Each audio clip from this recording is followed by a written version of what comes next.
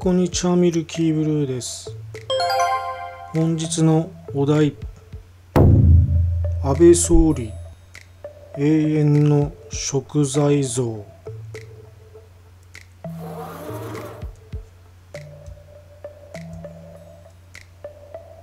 あのさちょっと韓国でさ今なんか話題になってるニュースでさ永遠の食材像って言ってね。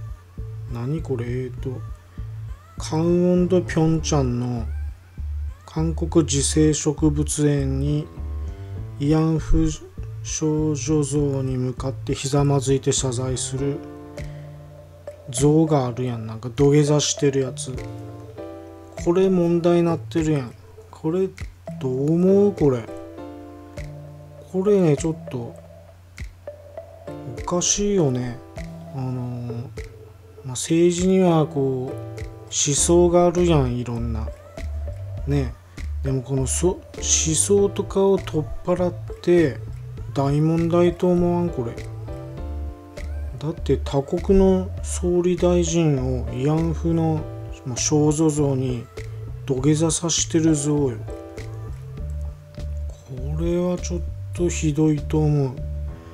ちょっと今日はねそのね納得いくいかないんでちょっと話してるんだけど、まあ、これ結局ね、まあ、日本政府も抗議をしてあの撤去してくれと言ってるんだけどこの植物園の園長キム園長って言っちゃうけど絶対撤去しないと言い張ってるもんね。でも案の定これ設置してなんか除幕式は中止したみたいやけどもう設置して展示してるんでもうどんどんお客さんがね来てるみたいっちゃんね。ちょっとそのねお客さんの一場面あの報道されてたんでちょっと見てくださいよ。こちらですよ。どう思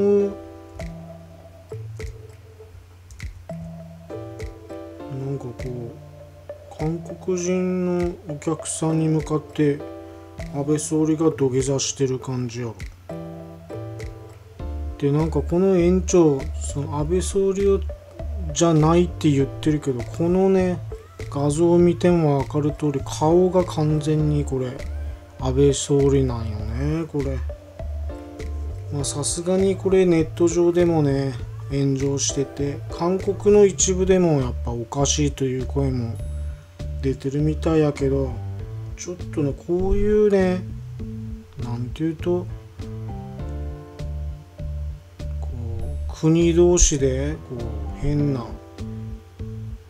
がみ合うというかありえないようなこの行動は慎むべきと思うよ。ねえお互いいがみ合ってどうなるのって感じよねまあちょっとネットでも日韓関係はちょっとシビアな面があるけんね。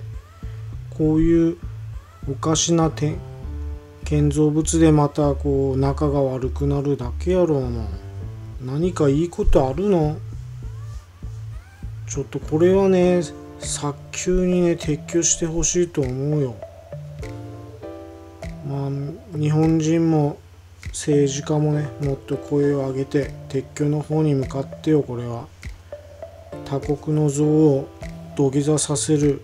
しかもそこに多分乗っかるやつもおるやろうし。ねえ。ちょっと人間の醜さを感じますよ。そんな風な人間になりたくないよね。とにかくこの像に関しては撤去してくださいね。お願いします韓国。頼むよ。まあ言っても無理かもしれんちゃけどな、まあ、とにかくお願いしますね。それでは。